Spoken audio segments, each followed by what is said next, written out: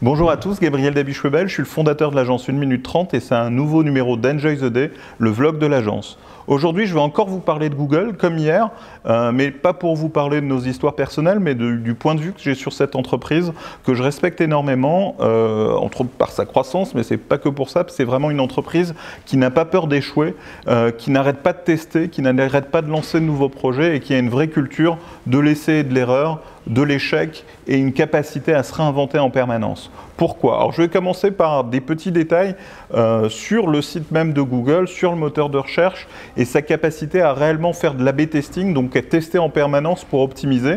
Alors ça c'est des petits détails, mais Google entre autres a testé 41 nuances de bleu pour connaître le bon bleu qui était le plus adapté et le plus cliqué dans ses résultats de moteur de recherche. Vous pouvez voir aussi que Google teste en permanence euh, AdWords et donc les résultats euh, de la recherche sponsorisée pour faire en sorte que ces résultats-là soient les plus cliqués.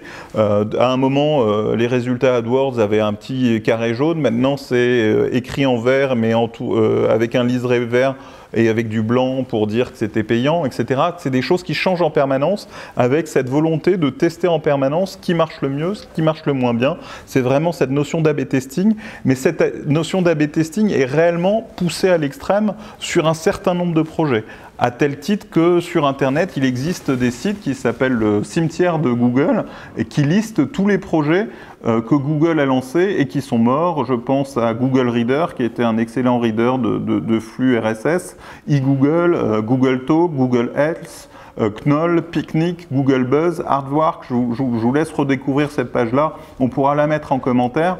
Euh, Google Glass, enfin voilà, il y a plein de choses que Google lance et que Google ferme, peut-être Google Plus bientôt parce que c'est quand même pas un grand succès, euh, que, Google lance et que Google ferme avec cette capacité de tester, de voir ce qui marche et ce qui ne marche pas.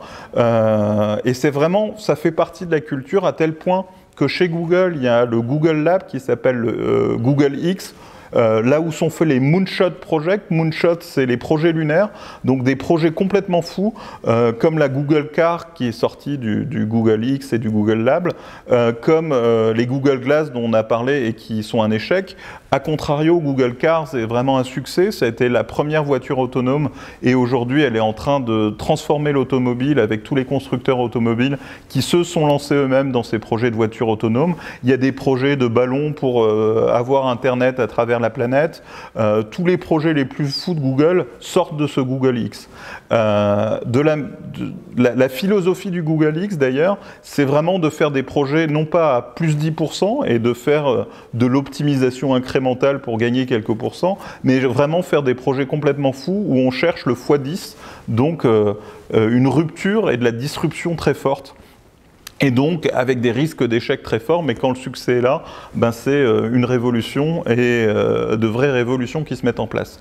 Voilà, euh, moi j'ai énormément de respect pour cette entreprise. C'est aussi une entreprise, on va parler de Calico, qui est le laboratoire plutôt biotech qui cherche à repousser les limites de la mort et à faire augmenter l'expérience de vie. On, est vraiment sur des projets fous euh, sur des projets euh, prométhéens, euh, avec cette vision de, l'homme qui, a cette capacité à devenir Dieu et une vraie capacité chez Google à se réinventer et à se projeter dans un futur complètement révolutionnaire. Je ne sais pas ce que vous en pensez de votre côté. que pensez-vous de Google? Que pensez-vous de cette capacité à se réinventer? N'hésitez pas à faire vos commentaires, à liker, à partager. Ce nouveau numéro d'Enjoy the Day est terminé. Enjoy the Day, à demain. Merci.